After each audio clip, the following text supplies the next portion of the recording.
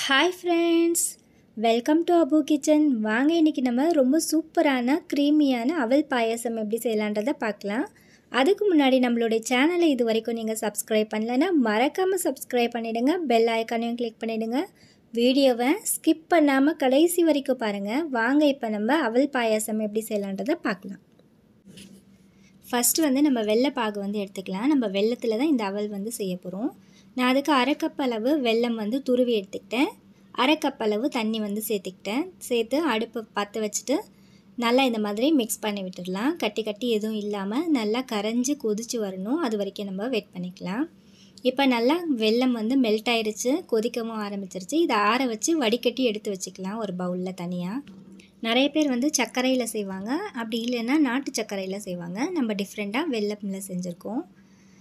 ஒரு ரெண்டு table spoon அளவு நெய் வந்து எடுத்துக்கிட்டேன். அந்த பேனில் சேர்த்துக்கிட்டேன். நெய் வந்து லேசாக சூடானதுக்கப்புறமா பாதாம் வந்து ஒரு கப் அளவு நான் துருவி வச்சுருக்கேன். அதை வந்து சேர்த்துக்கிறேன். பாதாம் சேர்த்து ஒரு ரெண்டு நிமிஷம் நம்ம வறுப்பட்டால் போதும். முந்திரி வந்து நல்லா கோல்டன் ப்ரௌன் கலரில் வறுப்போம். பாதாம் வந்து அப்படி வேண்டாம். ஒரு கப் அளவு வெள்ளை அவல் வந்து சேர்த்துருக்கேன்.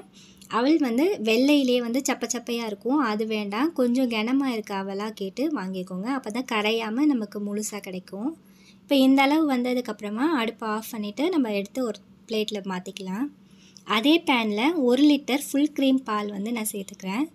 நான் இந்த ரெசிபிக்கு ஒரு லிட்டர் பாலுக்கு வந்து எண்பது கிராம் வந்து அவல் வந்து எடுத்திருந்தேன். நமக்கு கரெக்டாக இருக்கும். ரொம்ப கட்டியாகவும் ஆகாமல் ரொம்ப தண்ணியும் இல்லாமல் நமக்கு நல்லா கிடைக்கும். அதனால தான் ஒரு லிட்டர் பாலுக்கு எண்பது கிராம் வந்து கரெக்டாக இருந்துச்சு.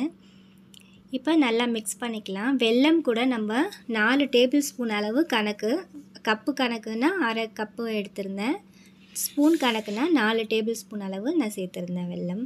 இப்போ நல்லா கொதிச்சு வருது பாருங்கள் இந்த மலாயெலாம் வந்து அதுலேயே நம்ம சேர்த்துக்கலாம். தனியாக எடுக்க வேண்டாம்.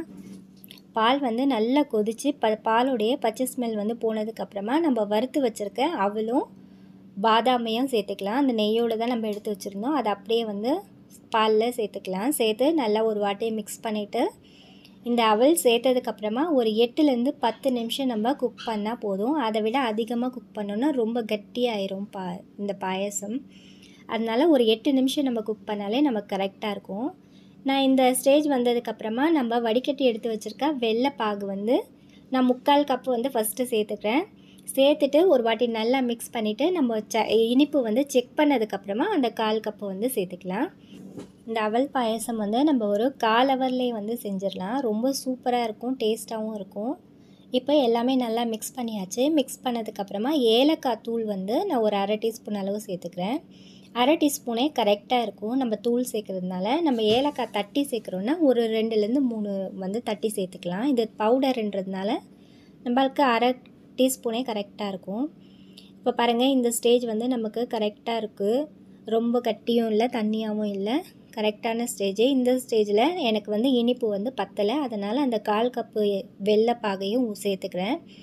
எனக்கு வந்து கரெக்டாக இருந்தது ஸ்வீட்டு ரொம்ப இனிப்பும் இல்லை இதுவாகவும் இல்லை கம்மியாகவும் இல்லை. இந்த அளவு வந்ததுக்கப்புறமா அடுப்பை ஆஃப் பண்ணிவிட்டு வேறு பவுலில் மாற்றிக்கலாம் வேறு பவுலில் வந்து மாற்றியாச்சு மாற்றினதுக்கப்புறமா நான் மேலே வந்து பிஸ்தா வந்து நல்லா சைடாக கட் பண்ணியிருக்கேன். அதை வந்து சேர்த்துக்கிறேன்.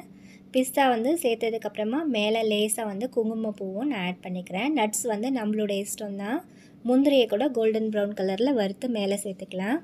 அப்படி இல்லைன்னா கூட நம்ம வெள்ளத்தை கூட நுணுக்கி மேலே லைட்டாக நம்ம சேர்த்து இது பண்ணோன்னா கொடுத்தோன்னா ரொம்ப நல்லாயிருக்கும். மாஷாலாம் ரொம்ப சூப்பரான ரொம்ப ஈஸியான நம்மளுடைய அவல் பாயாசம் வந்து ரெடி ஆகிடுச்சு நீங்களும் உங்கள் வீட்டில் செஞ்சு பாருங்கள் ஃப்ரெண்ட்ஸ் அண்ட் ஃபேமிலிக்கு ஷேர் பண்ணுங்கள் எனக்கு எப்படி வந்ததுன்னு கமெண்ட்டில் சொல்லுங்கள் நான் சொன்ன அளவு உங்களுக்கு புரியலன்னா நான் டிஸ்கிரிப்ஷனில் தமிழ்லையும் இங்கிலீஷ்லேயும் எழுதுகிறேன் லைக் பண்ணுங்கள் ஷேர் பண்ணுங்கள் கமெண்ட் பண்ணுங்கள் சப்ஸ்கிரைப் பண்ணுங்கள் மறக்காமல் பெல் ஐக்கானையும் கிளிக் பண்ணிவிடுங்க ஓகே ஃப்ரெண்ட்ஸ் பாய்